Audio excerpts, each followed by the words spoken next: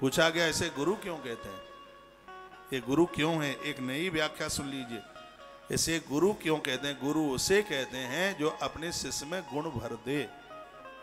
इसलिए इसका नाम है गुरु। श्लोक नंबर तिरासी, देखिए, गुणान रुंध इति प्रोक्तो गुरु शब्दश विग्रह।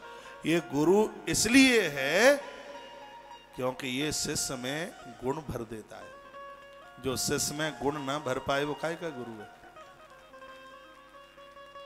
शिव महापुराण। आपने बहुत से पुराने सुनी होंगी, इतनी बारीकी से नहीं सुनी होगी। मैं वायदे के साथ कह रहा हूँ ये बात।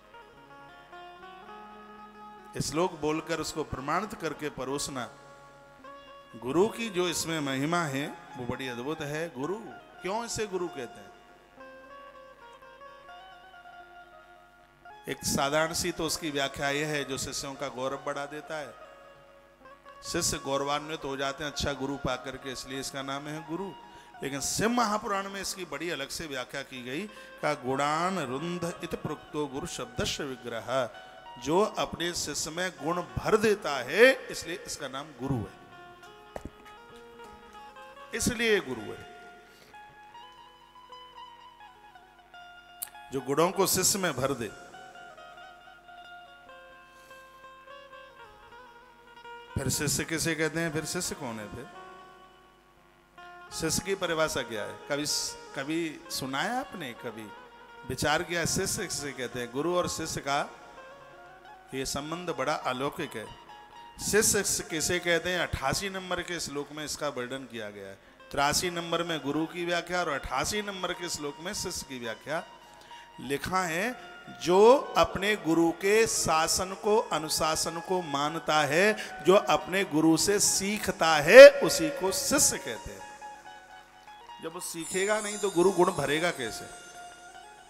जो सीखने के लिए अपने पात्र को खाली रखता है। देखो सुंदर श्लोक है तस्माद वही शासने योग्य शिष्य इत्याविधीयते लिखा है, गुरु लोग उसे ही दीक्षा दें, जो शिष्य लोग उसके शासन को मान सके। उसके अनुशासन को मान सकें। शिष्य की परिभाषा है जो गुरु का अनुशासन माने। गुरु की परिभाषा है जो शिष्य के अंदर गुण भर दे। जो शिष्य के अंदर गुण भर दे, वो गुरु है और जो गुरु के अनुशासन को माने, वो शिष्य है।